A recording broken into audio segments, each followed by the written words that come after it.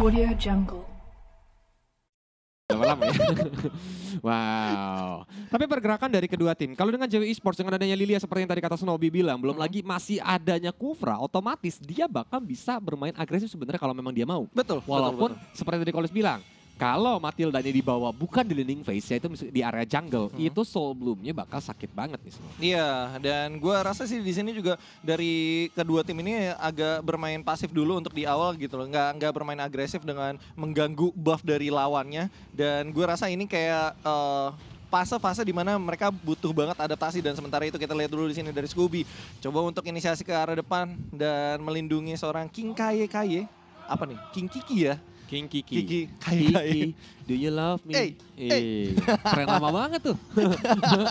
Berapa tahun yang lalu ya? Dua tahun kayaknya. ya? dua tahun pak Udah dua tahunan gak ngerasa Kiki do you love me. Uh, banyak tuh yang ketik satu tuh korban curhatan cewek. Oh, anda korban ya. Banyak, yang jadi rame. korban. Atau kalian cuma jadi korban-korbanin korban-korbanan doang nih. Iya. Ya kayak kalau doakan sukses ini maaf ya baru bisa kebaca sekarang kan delay soalnya Eh, streamingnya ya. betul. Supaya gak disepion sama penonton sama Oh, yang iya lagi peserta di rumah. Tapi Tung lihat apa yang dilakukan dia sehingga dia diem nahan gerobaknya sih Snowy.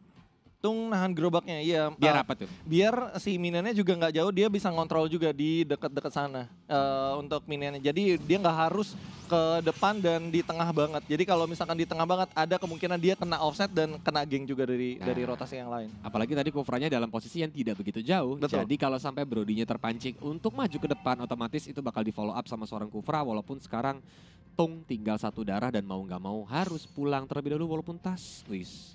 Kirain mau di begal. Iya betul banget.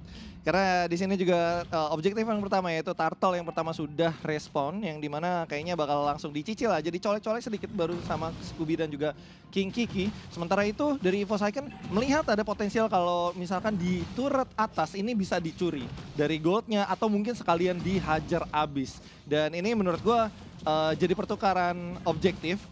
Cuman kira-kira Melius ini lebih untung mana sih kalau di, di posisi ini? Sebenarnya harusnya Evo Saikan yang bisa dapetin objektif Turtle di early game karena dia pakai jungler fighter ya Hmm. secara di atas kertas. Hmm. Tapi tadi karena dapetin setup juga momentum di mana eh, akhirnya Scooby yang berhasil untuk mendapatkan Turtle yang pertama dan mereka saat ini mencoba untuk bermain di area jungle lawan. Walaupun hmm, Black Shoes sudah mulai digunakan oleh Noir, LJ pun menggunakan charge-nya tapi untungnya masih belum ada yang terpentung dan Scooby pun masih bisa melakukan recall-nya. Ya, Lilia sempat-sempatnya dia agak gambling juga dengan Black Shoes-nya, tapi untungnya memang sulit juga disadari oleh EVOS Icon yang di mana EVOS Icon lagi berfokus sama Scooby dan Scooby pun bisa lari dengan mudah. Jadi menurut gua di sini yang diuntungkan adalah dari uh, laning yang di atas karena laning di atas sekali lagi Hmm. bisa banget dapat space-nya dan sementara itu first blood diambil oleh EVOS Icon yaitu dari seorang Brody Cekim. Yap, langsung ditor apart memory tadi lebih tepatnya walaupun ini udah rugi sih dia ada eh, nyawanya terbuang dia harus pakai flickernya. Mm-mm. Jadi awal terjadi sedikit miscalculation di mana akhirnya clean yang harus ter-take down begitu saja dan Evo's Icon untuk saat ini terlihat memang dia memegang tempo nih. Untuk dari tempo dia bisa langsung eh, melakukan invasi ke area jungle dari JW Esports walaupun memang dari Scooby dia menggunakan hero snowballing nih Snowby ya. Iya, iya. That's why dia harus cari- cepat-cepat cari point kill di mana dengan aman dia dapat point kill dan bisa hit and run walaupun ini dia Tyrant Revenge, Tyrant Rage, connect arah dua hero. Tony mencoba untuk masuk dengan Circle Eagle mengincar ke arah Tung. King Kiki, dia kali ini sendirian, gak bisa di backup sama temennya. Oh, Langsung diajar juga dengan momen blast tapi ternyata masih belum connect. Noir yang sendirian, ternyata malah CH yang langsung ter-take down begitu saja. Iya. CH. bisa dibilang gini loh, eh, kok karena dari JW Esport juga mereka nggak mau kalah dari segi agresivitasnya. Mereka punya Poveus, mereka punya Kufra juga untuk segi setupnya. Jadi menurut gue juga eh, dengan ada deal damage yang cukup oke juga dari Noire, menurut gue cukup oke juga kalau misalkan mereka mau agresif di awal, mau mengcounter pergerakan dari EVOS Icon. Masalahnya adalah eh, Scooby ini benar-benar butuh space, benar-benar butuh farming untuk di awal dan gue yakin banget EVOS Icon tidak akan merelakan itu dengan free. Heeh, karena memang saat ini Tartal udah mulai setup sama teman-teman dari JW Esports dan EVOS Icon sudah mulai berdatangan knockout strike juga sudah mulai di pop up. Tapi tapi tapi langsung dicuri Tartalnya oleh seorang Tess nomor 16. Connect arah 3 hero secara langsung Circle Eagle. Noirnya masih bisa balik ke belakang dengan yang 12 karat banget walaupun King Kiki dia harus take down. LJ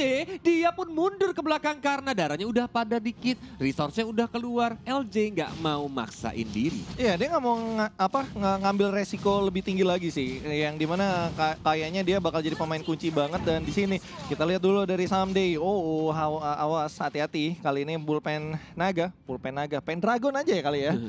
Pendragon. iya. Pendragon yang di mana gue rasa kayaknya emang dia sempat sempatnya banget untuk mundur karena gue rasa kalaupun emang mau di counter juga sama eh, JW Sport dia juga udah siap untuk melakukan eh, fight juga di sana. Dan ini udah keuntungan banget bagi Voice Icon di mana outer middle turret itu udah berhasil dapetin sama mereka. Hmm. Otomatis dia bakal lebih seneng lagi untuk gangguin Scooby di area jungle.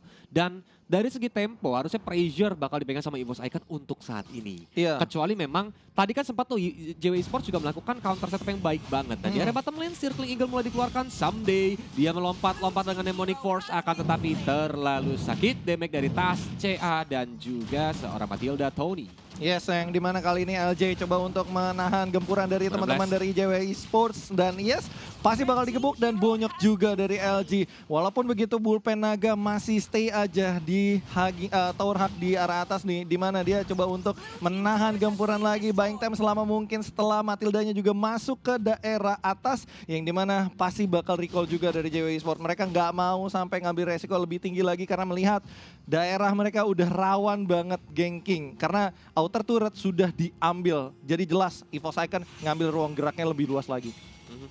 Satu persatu turret udah diambil dari segi objektifnya Evo Zykan. Akan tetapi JW Esports di sini tidak memiliki gold difference yang terlalu jauh oleh Iya. EVOS. That's why kalau dari segi team fight, kalau memang JW nanti rapi, ini EVOS harus benar-benar berhati-hati karena they only need one moment dan ini dia Tyrant Rage. Langsung mulai dikeluarkan Tony, gak bisa kabur ke mana-mana karena ada bouncing ball dan dia pun langsung di take down. Walaupun Scooby menjaga jaraknya kembali, Tor 4 memori dilepaskan, Turtle tapi diamankan oleh seorang Tess Didi. Yes, dan EVOS Icon di sini dapetin turtle no minus Waduh. blast. Nampaknya nggak kena sama siapa pun dan CH harus berhati-hati karena darahnya udah secuil banget. Mungkin dilempar tempe juga mati juga.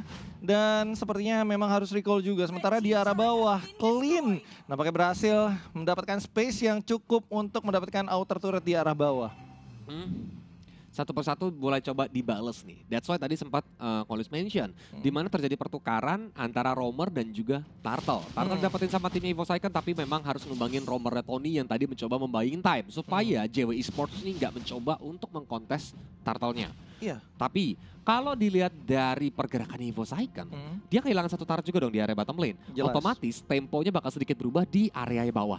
Oh. Tapi di middle sama atas kan beda cerita nih. Dia masih menang turret, dia masih eh, megang eh, setupnya. That's why kalau eh, seandainya Shinobi lihat, JW Esports pergerakannya lebih di area top lane. Iya, dan sementara dari EVOS Icon lebih ke bawah. Kalau misalkan mereka bisa dapat inner turretnya itu lebih untung banget di arah mereka. Tapi di sisi lain kali ini Pendragon yang menjadi jangkar di atas kali ini bakal coba untuk melihat situasi yang ada. Semisal ada cut rotation yang bisa dimanfaatkan oleh dia, gue rasa kayaknya bisa dapat kill gratis di arah sana. Dan sementara itu dari Lolitanya LJ bakal bertemu dengan Kiki dan langsung dihajar begitu saja dan no, ternyata belum ada following up dari Cekim dan juga Tony. Kolius. Mhm. Dan eh, memang pergerakannya sebenarnya kalau seandainya dari JW Esports ini lebih bersabar untuk bermain counter setup seperti tadi sempat dilakukan, ini bakal jadi mimpi buruk bagi EVOS Icon terutama dengan adanya Black Shoes. Otomatis Hmm. kayak dia bakal mancing resource dari EVOS keluar di Yes. Black Shoes. Masih di Tyrant Rage juga dari seorang King Kiki. Hmm. Dan itu yang bakal memancing EVOS Icon dari segi team fight-nya. Tapi sebaliknya dari EVOS Icon mereka nih sangat amat mengandalkan pick off strategi. Iya, iya. Kalau sampai di pick off satu persatu JW Esports bakal mendapatkan mimpi buruk sih. Iya, terlebih juga dia punya initiate Nah. juga dari Matildanya yang di mana Circling Eagle juga bisa ngelock satu orang gitu loh. Jadi Nah, gua rasa emang pas banget strateginya dari pick off dan sementara itu kita lihat dulu di sini sudah ada Lord yang respawn tapi nampaknya harus banget di reset karena melihat ada situasi yang kurang mengenakan dari EVOS Icon dan mencari timing yang lebih tepat lagi karena Lilia seorang Noire kali ini masih berada di arah bas di dekat daerah Cekim tapi Cekim juga kayaknya lagi melihat situasi Noire kapan keluar Noire kapan keluar di mana sepatunya sikilnya doang kelihatan Ih, gimana gimana? Sikillnya doang. Iya. Lord udah mulai di-engage dan datang King Kiki mencoba untuk langsung menghajar. Lord udah mulai sekarat banget. Tadon Rivers mulai dikeluarkan. Tadon Rage connect. Dan ternyata Lord masih bisa diamankan oleh seorang Tas. Maju dengan tracelessnya King Kiki pun menjadi korban berikutnya. Balik lagi dia ke piramid jadi mumi. Dan kita lihat Noire pun bahkan tidak bisa selamat. Scooby yang kali ini menjadi target langsung dikenok Astrek dari udah mulai sekarat banget. Dihajar dengan basic attack doang. Scooby mati triple kill. Tidak seorang Tas. Anti someday tapi dia mendapatkan seorang Tony. Masih mencoba untuk menghajar dengan Diamond Force-nya. Apakah Maniac bakal terjadi? Tapi ternyata dicolong sama Cakim guys. Ya. Wah. Iya, Ini guys, auto ya. ngambek. Kalau kalau seandainya lagi ranked auto ngambek. Iya. Maniac gua woi.